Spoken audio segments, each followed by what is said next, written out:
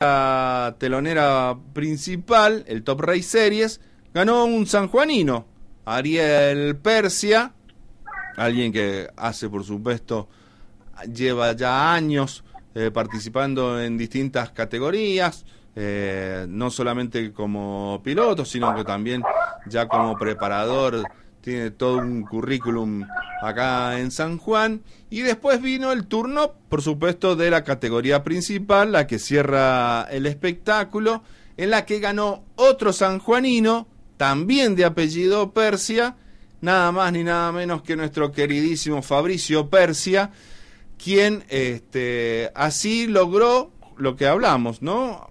No, no recuerdo antecedentes, si los hay, hay que bucear realmente bastante profundo para encontrar a dos hermanos que ganen exactamente en el mismo día, en el mismo autódromo, eh, carreras de categorías nacionales. Así que, por supuesto, la primera pregunta es el famoso ¿Qué se siente, Fabricio Persia? Buenas noches, Lisandro Pairán les saluda. ¿Cómo andamos, Lisandro? Buenas noches, saludos para vos y toda la gente de San Juan. La verdad que algo increíble, la verdad que como que ayer cuando me bajé el auto tenía una felicidad enorme, pero no me, no me daba cuenta de la magnitud.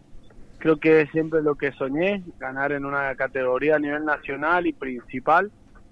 Y bueno, la verdad que ayer lo logramos y no solo eso, sino que con un equipo propio ganarle un equipo oficial como lo es Toyota, que lleva tantos años en la categoría, con pilotos de renombre como es Azar Reutemann. Así que la verdad que fue algo muy lindo, encima ganárselo mano a mano porque tuvieron la posibilidad de atacarme durante 15 vueltas y nunca llegaron, así que más conforme me dejo. Eh, realmente Fabricio, digamos, para ser la, la primera vez que ganás, como, lo dijiste, la primera vez que ganás en la categoría principal a, a nivel nacional, porque ya, en, por ejemplo, en Top Race Series ya tenías este, varias victorias, pero todo el contexto que se da eh, hay una foto que, que, han subido ahí en la, en la categoría en la que estás vos celebrando con barbijo puesto y tenés en brazos a, a una niña que tiene un chupete. Claro, es verdad. La verdad que sí, estar con mi hija ahí arriba es inexplicable que me esté acompañando. Tu primer podio juntos, el primer podio que, hago con ella Así que la verdad que, que, una alegría haber ganado con Ariel, haber ganado con un equipo sanjuanino. La verdad que son un montón de cosas y se me vienen un montón de cosas a la cabeza de tanto esfuerzo que hemos hecho tanto yo como toda mi familia. Y no solo nosotros, sino un montón de gente que me ha apoyado para poder aprender en el automovilismo, eh, tanto el gobierno, la Secretaría de Deporte, como todos los sponsors me han apoyado toda la vida y confiar en mí para poder lograr esto. Bien, eh, recuerdo cuando charlamos fue algo algo breve, pero justamente antes de la de la primera fecha y quizás no no lo interpreté bien, pero yo sentía como que eh, vos tenías muchas ganas de ver qué qué es lo que iba a pasar, como que no no tenías una referencia este importante de saber a, por dónde ibas a estar. Vuelvo a decir, quizás fue una interpretación mala mía en su momento y vos la, la tenías recontra clara, pero de, lo que fue antes de, esa primera fecha, ahora que ha terminado la segunda, te encuentras como uno de los dos punteros del, del campeonato. Sí, pero es como decís vos, Lisandro, fue algo que realmente al principio no sabíamos cómo íbamos a estar sí tenía mucha fe de la gente que estaba, tengo mucha fe de mi hermano en la parte de preparación, aparte de saber manejar él bien, todo. Sabía que no, no, va, a, no va a dormir hasta que no lográramos lo que queríamos. Y lo más lindo de todo es que hemos ganado, funcionando bien. Y hoy no me ha dejado de hablar de cosas nuevas que tenemos que probar. y eso me entusiasma más todavía. eh, realmente nos puede salir bien como mal el sábado a la noche decidimos poner una puesta a punto para la carrera y dijimos, bueno, la juguemos, y era la sensación mía, una parte del chasista que es Valois y otra parte de Ariel, y realmente no, nos salió de primera, tuvimos un ritmo fabuloso. Así que bueno, esta vez no salió bien, nos puede salir alguna mal, pero lo que más contento y conforme me deja es que el equipo, todos los mecánicos, todos los chicos están poniendo el 120%, no el 100%. Bueno, pero vamos a repasar un poquito la, carrera y dele usted eh, algunas imágenes para que las recreen mentalmente los, los que son fierreros en San Juan, que no son pocos, por supuesto, y que están escuchando ahora el 91.5 MHz. Grilla de partida, Fabricio Persia en el cuarto lugar, ¿verdad? Sí, sí. ¿Mm? Y ahí nomás, en el arranque, pim, pim, segundo. Fue rápido. La verdad que sí, vos sabés que antes de largar, sabía que tenía que largar, porque largar de parado es difícil, y la otra vez me había quedado patinando. Y cuando probé largar antes de, de llegar a la grilla, noté que largué y salí muy bien. Y dije, bueno, vamos a salir a jugándola toda. Y me, entusiasmaba el auto, que iba bien. Y cuando vi que estaba cerca de azar, cuando quedó segundo, la verdad que sale el auto de seguridad me la jugué todo por afuera. Nos tocamos y no, no pude hacer la maniobra en ese momento. Pero ya me había agarrado, me había inflado, ya, ya era yo. que ya quería salir a ganarla, no terminar. Claro. Claro, pero fue así, porque fue un, un, golpe así de, de, entrada nomás, avisando, ¿no? con, con, ese salto en, en, la, en la salida. Y después, como dijiste vos, bueno, un par de giros más adelante, que te quedás con el, con el primer lugar y después aguantarlos a, a los muchachos que se le, se le venían de atrás del justamente del, del equipo oficial de uno de los más importantes, de, o no sé si es por, por lejos el más importante. Sí, hoy en día el equipo más importante de la Argentina, porque la verdad que están haciendo las cosas bien donde, donde se suben, están andando bien. En el Super, en las TC Pickup, en Turismo Nacional, están buscando lo mejor de lo mejor.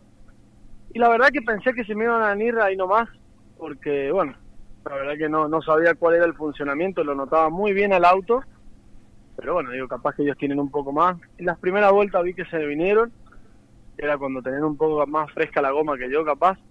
Y después, la verdad que se mantuvo y yo empecé a, a tratar de ir más rápido. Había vueltas que trataba de cuidar un poco más el auto por las dos que salía un auto de seguridad y no tener el auto tan, tan detonado. Así que la verdad que, que, la disfruté mucho, la corrí clasificando toda la carrera, la verdad que vine a fondo al límite, esa es la parte que más me gusta de, correr, tener que venir siempre al límite. Es más, varias veces me equivoqué y casi me fui, sobre todo en la última vuelta. Bien. La verdad que la terminé pasando mal porque se me puso todo de cola y ahí, ahí bajé un cambio porque ya me di cuenta que iba a perder todo por querer ir más rápido de lo que hay que ir. ¿Y eh, cuánto te llevó? Porque eh, está el antecedente de la, la sprint, que es un una carrera previa que se justamente con el que se cierra el sábado que había quedado con, con gustito feo me imagino porque justamente hay un toque en la a, metros de la, de la bandera cuadro fue que pasaste de, estar peleando por el tercer puesto a, llegar a octavo. Sí sí la verdad que sí. Eh, me dio bronca más que nada los comisarios deportivos no tanto la maniobra porque bueno el que va arriba del auto quiere avanzar y yo estoy seguro que se equivocó Leguizamón. Pero la verdad que sí me molestó lo de los comisarios deportivos porque no, no, no, no vieron una maniobra como tenía que ser. Para mí no, no, sé que si yo mañana la hago me van a echar. Estoy 100% seguro y se lo dije. Digo, espero que no pase eso porque la verdad que vamos a tener un problema porque va a quedar el antecedente que yo tengo guardado de cómo fue la maniobra. Que ojalá que no tenga que hacerla, pero no soy, no soy de ese estilo de correr y a chocar iba a chocar por chocar, porque fue de esa forma como me pasa. Pero después, bueno, la verdad que hice borrón y cuenta nueva y me concentré en trabajar para el otro día. La verdad que me duró un ratito la calentura y después ya me enfoqué en lo que venía. Bien, y ahí la bandera cuadros. Ah, siempre hay una, una primera imagen, una primera emoción, un, un primer recuerdo, una primera dedicatoria. ¿Qué, ¿Qué fue lo que te pasó a vos en, en ese momento cuando justamente estabas consiguiendo tu primera victoria en Top Race?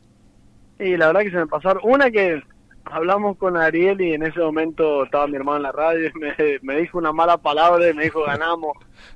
y nos dijimos cosas, un montón de cosas lindas, obviamente para nosotros, pero capaz que ordinarias. Y después me acordé, la verdad, que todo lo que lo que hemos pasado, mi familia, eh, tanto mi mujer, mi, mi viejo, todo lo que ha hecho, mi hermano mismo, toda mi familia que la verdad que siempre están apoyándonos.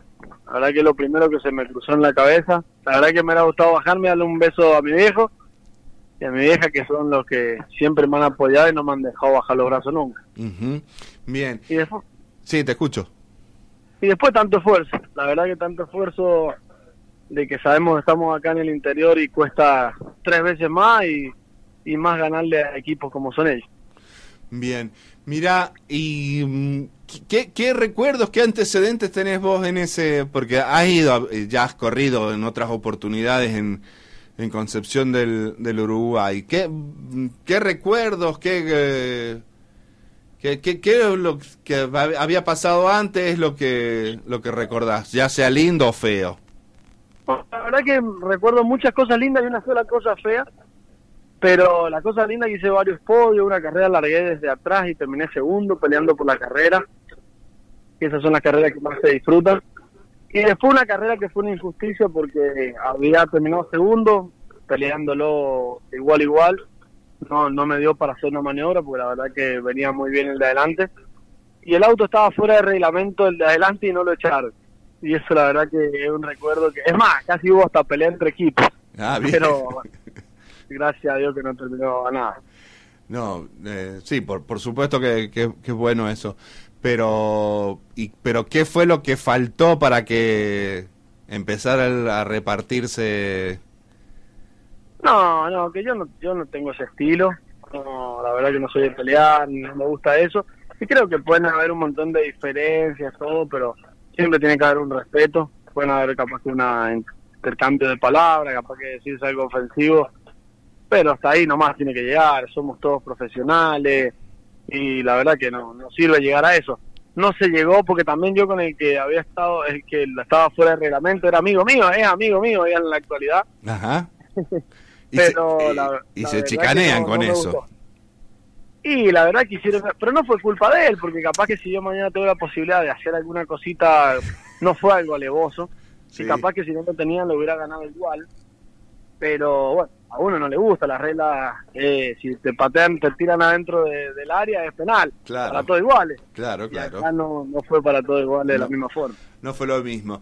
Y bueno, y ahora vamos con las preguntas esas del estilo a quién querés más, si a tu mamá o a tu papá. ¿Cuál disfrutás más?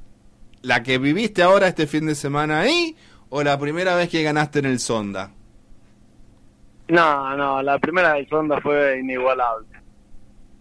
Inigualable. La verdad que esta sé que, que va a ser la carrera más importante de mi carrera deportiva, pero la verdad que lo que viví en el Sonda, creo que no lo voy a vivir nunca más, o excepto que vuelva a ganar en el Sonda. Ujú, ujú. Y ahora con tiene algo místico, además algo que era algo que nunca se me había dado de ganar, ni hacer un podio en un zonal, ni nada, venir, venía ganando, se me rompía.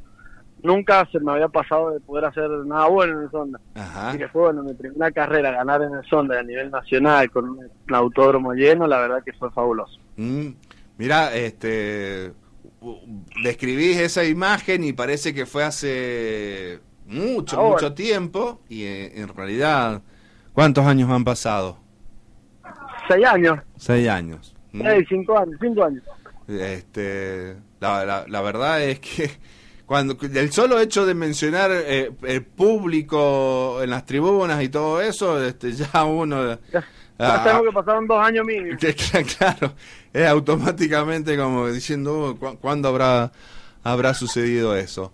Bueno, usted conoce este programa y es inevitable la pregunta y esperamos la respuesta sincera, ¿cómo se festeja, como se merece, lo que ha vivido Fabricio y Ariel Persia con toda la familia respaldando este fin de semana? como corresponde. Anoche arrancamos en Villa María con unos amigos, eh, veníamos de Concepción de Uruguay y bueno, di- decidimos hacer noche, le llamamos, nos esperaron una parrillada, así que comimos más no poder y ahora estaba en este momento comiendo y terminando de hacer el asado yo.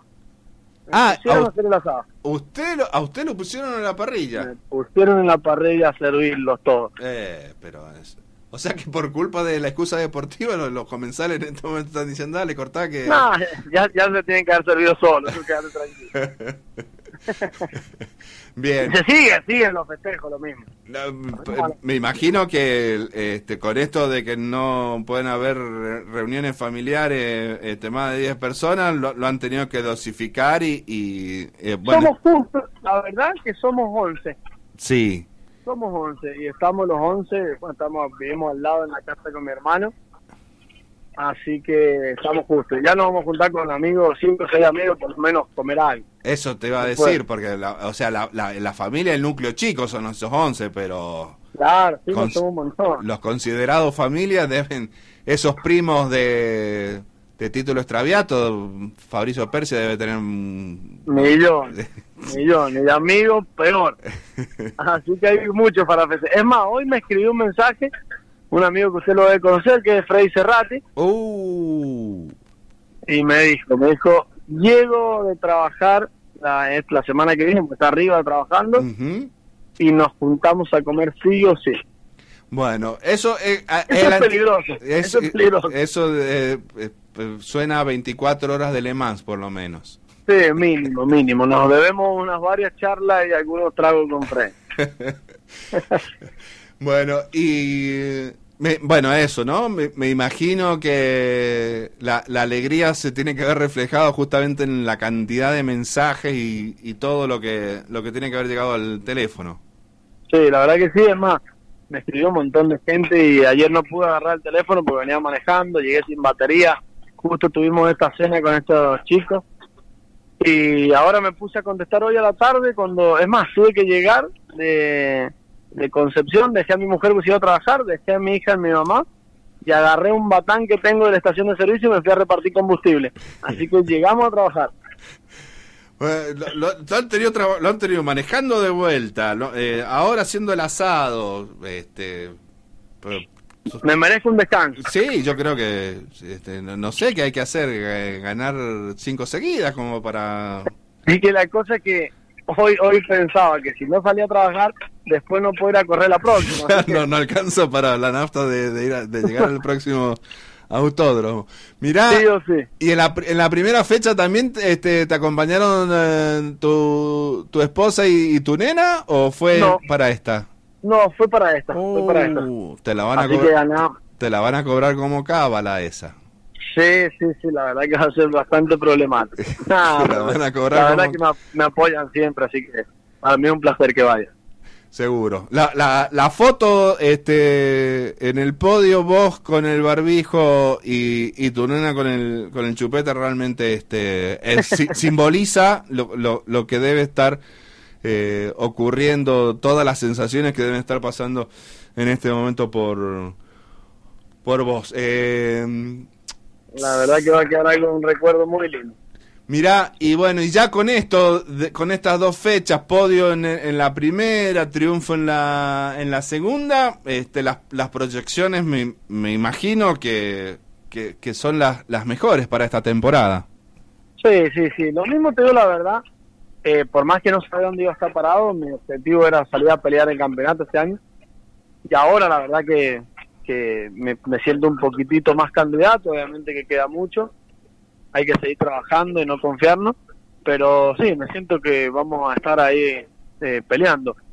Después, bueno, qué sé yo, que se dé un campeonato, no, tienen que pasar un montón de cosas. Los fierros es- es- son ingratos, todo el, Ya, me pasó ya. Sí, la- de, de esos hay para escribir libros y libros enteros con, con todos los pilotos, ¿no? Pero bueno, eh, eso de por sí, porque mm, suele suceder, ¿no? Este que todo piloto que, que llega a una categoría eh, generalmente es una o, dos temporadas para para agarrarle bien la mano al auto, al equipo, a los rivales.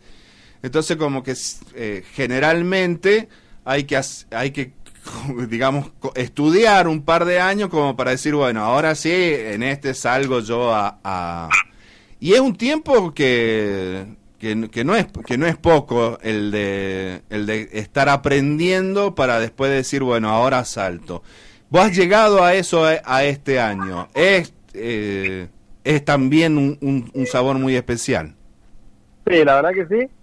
Eh, llegar así, ya pensar y estar preparado, ya hasta psicológicamente para decir que vamos a pelear un campeonato, la verdad que es bueno. Lo mismo, yo creo que era cuestión de la que había hecho una muy buena escuela en el serie. Sí, me había tomado varios años en pasar por una parte económica. Creo que era cuestión de acostumbrarme, que mira, gracias, te voy a contar una intimidad que como que yo soy muy ansioso abajo, arriba del auto de carrera, todo, y con este auto había que tomarse un poco más de paciencia. Y el viernes eh, tenía un problema en el acelerador que le costaba acelerar al principio, aceleraba a fondo, pero como que se demoraba, había un problema ahí en la computadora.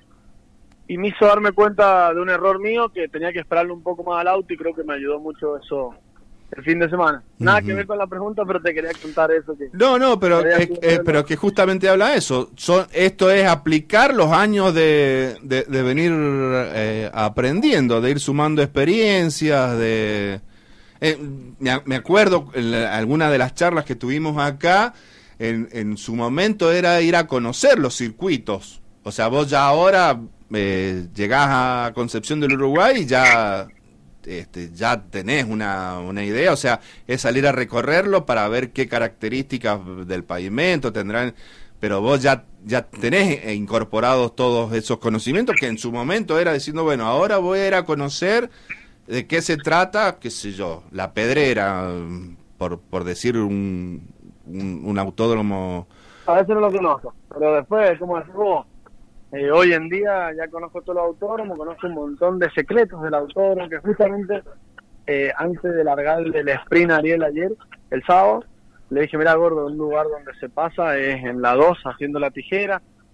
Y bueno, la verdad que le salió la maniobra, capaz que si no se lo hubiera dicho lo hubiera hecho igual, pero eh, había pasado varias, a varios autos en ese, en Este, por eso digo, es un momento de la, de la evolución, de, de ir de ir aprendiendo, de ir sumando experiencia, este, que bueno, que ahora justamente ya son todas herramientas incorporadas y, que se puedan este, ver, eso, ¿no? El, ataque nomás en el, en el, en el arranque y, pasar del cuarto al segundo puesto antes de, eh, de, la, de la primera vuelta, este, ya habla justamente de eso, de, de una confianza en, en la actitud y en las condiciones personales. Sí, sí, la verdad que sí.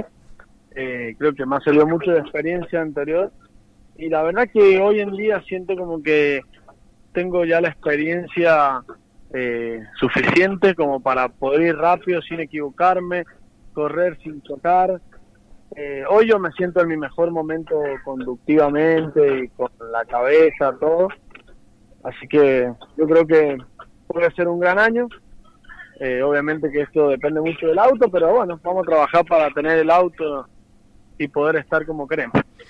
Ojalá que ojalá que, que, vaya llegando lo, lo, mejor y que siga como, como, como ha sido este este arranque, ¿no? un podio en la, en la primera fecha, un triunfo en la, en la segunda, este hablan de realmente de un comienzo espectacular y bueno, y todo el resto de los condimentos que, que hablamos al, al principio, este eh, la familia, que, que también haya ganado Ariel en la categoría telonera en el Top Race Series, este realmente, digamos, como excusa deportiva y para ser dulce con, con lo que has vivido este fin de semana.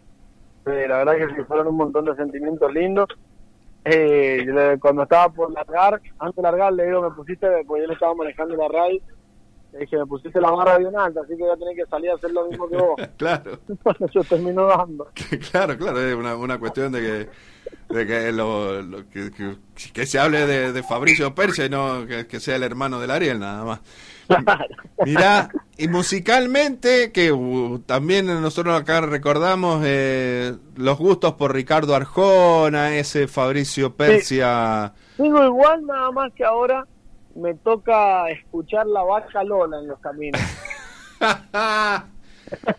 Todo el camino escuchó la, la vaca Lola, el, el pajarito Pío Pío ¿Qué querés también, no? Y, sí, no puedo escuchar a Arjona tranquilamente. Ya no, ya no, no se puede uno eh, proyectar musicalmente, ya no es independiente, ya no está solo, es simple, ya no está solo, así que ahora este el chuchuá de Piñón Fijo todavía no hemos llegado.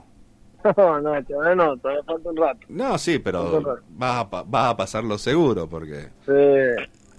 Sí, con la vaca Lola y todo, ya me tiene, ya. Lo mismo ya, muchas veces me estoy bañando y la estoy cantando así. ya, digamos, mente superior domina mente inferior, eh, así de entrada nada más. ¿Ah? Exactamente. Buenísimo. Eh, ¿Con qué quiere que cerremos musicalmente este esta charla, esta conversación, Fabricio? Esta charla, ¿cuál era el tema que escuché hoy con Federico, con el tuyito, uno de los mecánicos? Ayer fue él, antes de irnos a la carrera. Sí. Eh, ¿Cómo se llamaba? Este bueno, cantala. has cantado en el estudio, podés cantar un poquito no, no, por teléfono. No, no, yo no me acuerdo cómo era. Era Muñeca Bravo, no. O era un tema cuarteto, pero Ajá. ¿Cómo era que se...? Oh, no me voy a acordar. Pero bueno, vos sabés que mi estilo es que Arjona, Rey, sin bandera, así que me puedes poner cualquiera de esos que es perfecto. Muy bien, vamos a, a, dejarlo entonces en poder de Sergio Jofré. Que, Exactamente. Que, Sergio vamos a, a poder eh, sí cerrar el programa este, despidiéndonos formalmente con Fabricio Persia, que vuelve a estar en el aire, se, se fue, salió de pista, volvió. No, se me apagó y lo puse a cargar dos segundos y me lo prendí. Y he salido y se me va a pagar de vuelta. Ah, bien. 1%. Entonces, listo, en los 30 segundos el cierre es suyo. ¿Qué? ¿Pero qué crees que hagan el cierre? Lo que, que se han comido todos ahí en tu casa, este, qué, cuáles son los deseos, lo que usted quiera. Lo primero que quiero hacer es agradecer a toda la gente que, me ayudó para llegar a lograr esto, tanto el gobierno de San Juan, la Secretaría de Deportes, Fabián Flaqué, que también es muy importante en mi carrera deportiva, mi viejo, mi hermano, mi mujer, toda mi familia, todos los sponsors, todos los sponsors que siempre tienen una mano, los que me apoyaron siempre, los que me apoyan ahora, a todos los periodistas, a toda la gente de San Juan que realmente me dan una mano gigante. Y bueno, la verdad que contento y ojalá que le podamos traer una gran alegría a fin de año, tanto Ariel como yo. Así que eso, eso, agradecerles a todos. No es, no es poco, no es poco. Y, esperar que, que me inviten al programa así tanto el tema que quieren que cante. Pero lo voy a cantar con Emiliano, tenemos que invitarlo porque Em, eh, bueno, em, Emiliano, este, vamos a ponernos así en, picadas. La excusa deportiva arrancó este año en mayo. Emiliano viene trabajando de, antes ya en la radio, en esta temporada 2021. Desde febrero me apuntan acá. ¿Cuántas veces te ha traído el Emiliano acá? Nunca. ¿Viste? ¿Te das cuenta? ¿Te das cuenta? ¿Te das y él le encanta, él le encanta cantar la canción de eh, del gordo bueno, algo así. Listo. Listo. tenemos que pedir eh, autorización. Vos, sabés que tenés que preguntarle a Emiliano después cuando veas. Dale. ¿Quién es el huevo totote? Vos preguntarle quién es el huevo totote. Listo. El huevo totote, listo. Y que lo diga, que lo diga. Y si, y si miente, yo lo voy a, decir la verdad. Listo. Porque ya me cansa que me mande esas fotos. Listo. Ya, ya tiene Emiliano Perse, entonces, invitación asegurada. Un, un lunes de los que viene a, la, a las 5 de la tarde eh, o, a, las 6. A las 6. ¿eh? A, las 6 a, las 6 de la tarde arranca Emiliano con. Franco Muñán y todo el, todo el equipo. Así que bueno, un día que eh, salga, se tome un café y vuelva a las 9 de la noche y acá acá definimos todo. De, última lo traemos a Franco Muñani como veedor oficial. Voy a contar un montón de anécdotas de muy, no la solo automovilismo. Muy bien, muy bien. basta de cassettes en, las, en, las, entrevistas de deporte. Le agradecemos que la maniobra que nos fue de cola de Trump. Vamos a hablar de la vida real. Exactamente, la vida misma. Vida que hubo, que hubo anterior, obviamente. Muy lejano. Buenísimo. Ese 1% nos ha ayudado a hacer el mejor de los cierres de esta entrevista, así que agradezcale también el teléfono. ¿eh? Abrazo, abrazo Fabricio, un cariño grande a toda la familia. Ahí está, se terminó el 1%, ¿eh? La- hasta tuvimos la, la suerte de, de- de poder saludarlo en ese segundo final, en esto que es la excusa deportiva en vivo, como todos los lunes, por Radio Antena 1.